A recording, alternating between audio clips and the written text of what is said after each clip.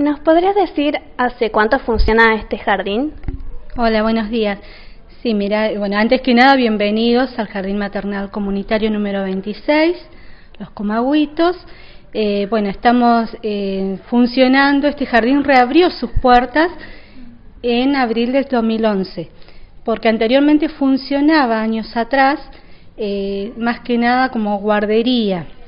tenía como otra función, distintas edades que, bueno, los alumnos de la universidad dejaban a sus hijos, eh, pero por ahí ya pasando la edad de, un jardín maternal. Entonces, eh, en el 2000, después se eh, cerró un tiempo por cuestiones, bueno, de, sostenimiento, lo cual era medio complicado para la universidad. Y en el 2011 la universidad hace un convenio con educación, entonces a partir de ahí comienza a funcionar nuevamente como jardín maternal comunitario. En ese momento se abre con la numeración número 12, eh, jardín maternal comunitario número 12, eh, y bueno, funcionaba eh, solamente a la tarde,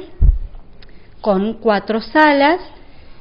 y había una coordinadora a cargo y promotoras, promotoras comunitarias. En el 2012 comienza no solo eh, está en el convenio con dirección de nivel inicial y, la universidad, sino que además eh, se incorpora bajo la supervisión también de educación, la supervisión de nivel inicial. De ahí salen los cargos directivos para cubrir en los jardines eh, maternales comunitarios. Yo tomo el cargo en mayo del 2012, me incorporo ya a este plantel que venía trabajando eh, y bueno, a partir de ahí también empezaron eh, a crearse cargos docentes. Eh, esto es em, con maestras jardineras, que actualmente hay dos, una a la tarde y una a la mañana. el jardín sigue presentando muchas demandas de alumnos cada vez más, ha crecido muchísimo desde que reabrió sus puertas en el 2011, con la necesidad bueno, de que cada estudiante deja a sus hijos para poder eh, estudiar su carrera, eh, para poder este, hacer sus, sus tesis o algunas prácticas, entonces ellos saben que cuentan con el jardín maternal. Pero ahora, como ya no está más eh, con la función de, guardería como años atrás, cuando antes de, cerrar, lo, lo, importante y lo quiero resaltar para que quienes puedan escucharnos o vernos, tengan presente es que al ser un jardín estatal bajo la dirección de nivel inicial y la supervisión de nivel inicial, los alumnos son cargados al LUA, son cargados al sistema educativo de la provincia. Eh, y si el alumno tiene doble escolaridad, suponete que viene acá en un turno, a la tarde en otro, aparece en el sistema cargado dos veces y se le tiene que dar de baja automáticamente en uno de esos dos lugares porque bueno, siempre hay que optar por un solo lugar educativo, con, más que nada con esta demanda que hay también en toda la provincia. El jardín maternal está creciendo eh, en toda la provincia. En Viedma es impresionante cómo quedan nenes afuera, eh, desde 45 días hasta 3 años que abarca el jardín maternal. De hecho, la sala que se abrió acá a la mañana este año, eh, también vinieron nenes eh, de otros barrios o que no son hijos de estudiantes por esta cuestión de que estuvieron eh, inscriptos en otros establecimientos y no ingresaron por la cantidad de, alumnos que hay siempre en inscripción y que las salas no dan abasto para cubrir tal demanda. Eh, así que vemos que es una, una parte del, del sistema educativo que, que, también los padres ahora se están concientizando,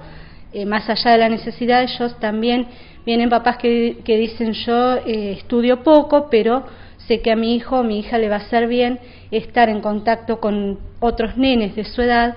a aprender ciertas cosas eh, y bueno, que lo, ayudemos en, lo que, en su crecimiento. ¿Y cuántos niños inscriptos tiene este año? Este año la matrícula eh, es de 53 nenes. Hay 41 a la tarde y 54, eh, perdón, 41 a la tarde y 13 a la mañana en esta sala. Es una sala nueva que se abrió en el mes de abril y, eh, bueno, por la demanda que te contaba hace un momento, pasaron algunos nenes de la tarde, porque siempre tenemos también muchos en lista de espera.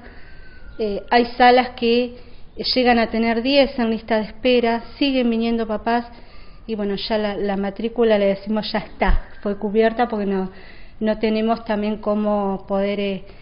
eh, tenerlo, no hay, hay poco espacio, hay salas que manejamos la matrícula mínima porque son chiquitos los espacios ustedes vieron,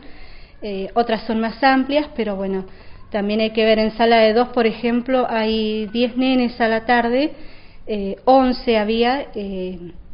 pero está el baño afuera, hay nenes que usan pañales,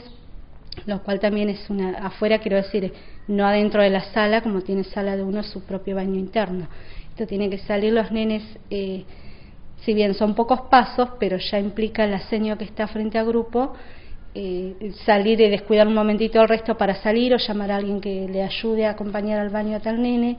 Entonces, por ahí tampoco, si queremos cuidar bien y brindar una buena calidad educativa, son cositas que eh, se tienen que tener presente en, esos, en estos casos.